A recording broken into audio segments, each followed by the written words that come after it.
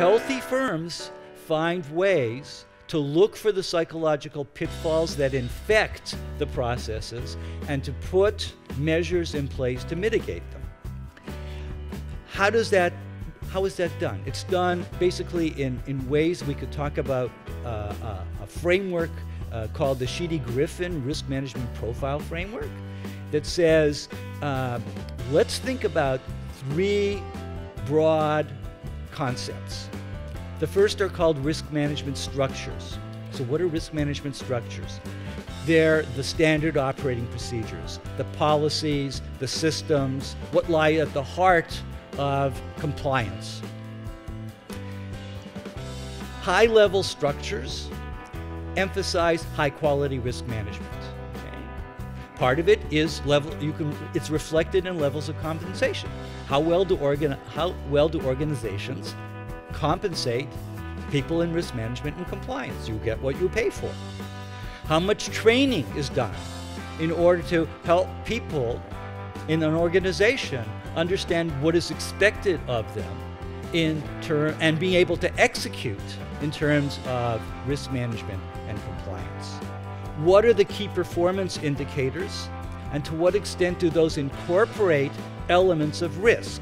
To what extent are key risk indicators part of key performance indicators, explicitly, not implicitly. So those are the structures, okay? Specifics. Then there's culture, which is more qualitative, but every bit as important. So to what extent is risk management clearly valued within the organization? To what extent are people proactive within the organization? About addressing risk management issues? Is your manager a good role model in terms of risk management? So, in companies where the culture is strong in risk culture, when people talk about the people to whom they report, they regard them as good risk management role models. And people are just on guard about watching for breaches in risk management. Strong cultures are strong along these dimensions. And finally, behavior. So, in organizations where the behaviors are strong, where risk management behaviors are strong, people are not afraid to speak their mind to their superiors.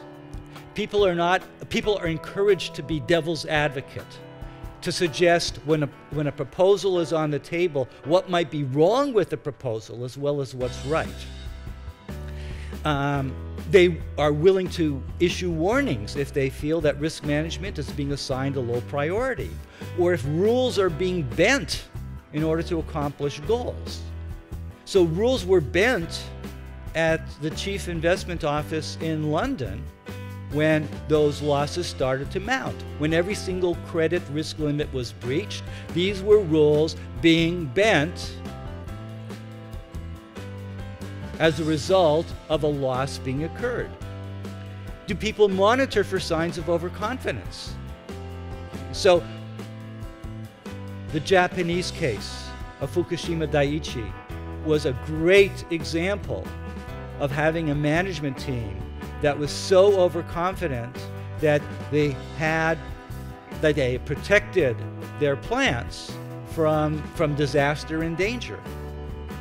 And again, I remind you, that plant worked pro- appropriately when the earthquake happened. Everything worked as expected. It was the tsunami that was the problem. People who are overconfident are surprised much more frequently than they anticipate. You can score organizations on strength. You can do a risk management profile score and get a sense of where the vulnerabilities are. This is, I think, an important thing to do as we look forward as a way of bringing psychological insights into the organizational framework to assess overall strength.